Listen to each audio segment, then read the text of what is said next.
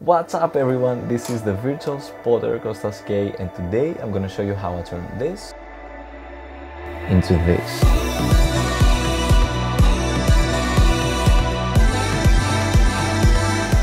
If you don't know me, I'm a professional video maker and content creator living in Greece and traveling all around Europe working with international clients. One of the most common questions that I get on my comments is what editing software do I use and how do I make these shots look better than uh, the actual gameplay. Before we jump into this, I want to say that I'm not sponsored by Infinite Flight in any way and uh, visual effects that I add like uh, rain, thunderstorms, uh, dark clouds, etc. are not part of Infinite Flight gameplay.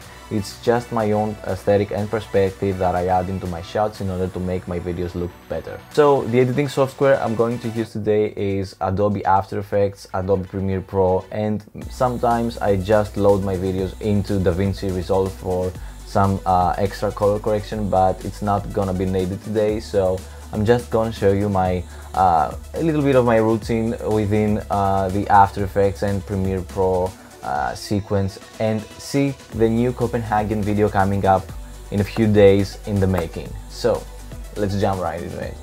So to begin with I will import my shots into Adobe After Effects. This is the first program I'm going to use and first thing I'm gonna do is completely remove the white sky from the shot so I can add my uh, dark clouds uh, later. There's a tool within Adobe After Effects which will allow me to do this very easily and very quickly. I just have to make a few adjustments in order to make it match my uh, specific shot and then I'm gonna add my fake clouds that I actually downloaded them from Google.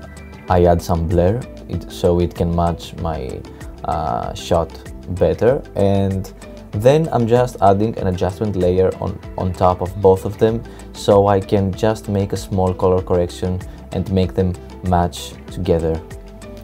After that, the most important stuff is motion tracking. Motion tracking within Adobe After Effects is a very time consuming process because there are some points that I have to add keyframes and mask my uh, light sources in order to make them look like they are part of the aircraft and not just randomly being placed there.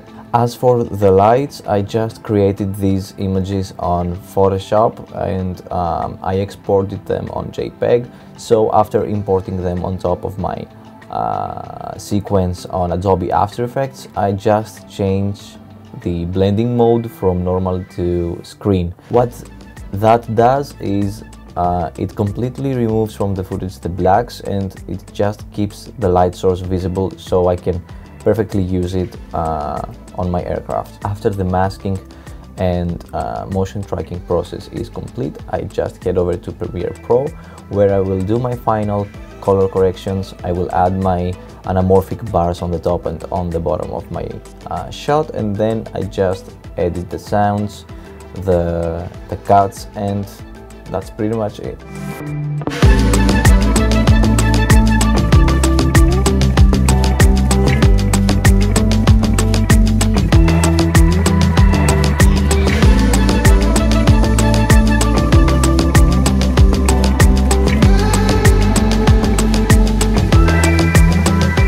I hope you now have a better idea about my editing process and what it actually takes uh, in order to make these shots and videos that you you see in this uh, channel.